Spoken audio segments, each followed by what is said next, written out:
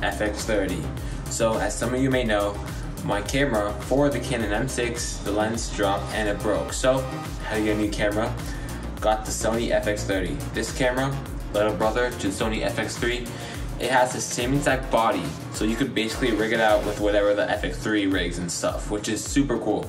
The only difference is that the sensor is APS-C, but this 4K. But if you've seen the footage compared to the Sony FX3, they look identical. So I'll be making more videos with this in the future. I will be doing a review that will eventually come out. Make sure you subscribe so you can see that video coming out. This first impressions as you start the unboxing. It came with good stuff and I can't wait to create more with this. So thank you guys for watching. If you want to see the future videos I create with this, make sure to subscribe, like, and follow and everything. We also recently hit 200 followers on Instagram, so make sure you go follow so you can see all the cool stuff I make there too. Yep, peace out.